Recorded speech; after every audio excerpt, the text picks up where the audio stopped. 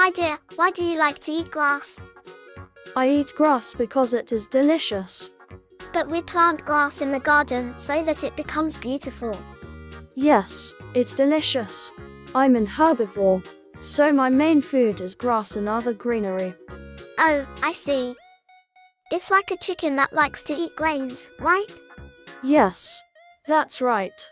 I also have a special stomach that can digest grass well.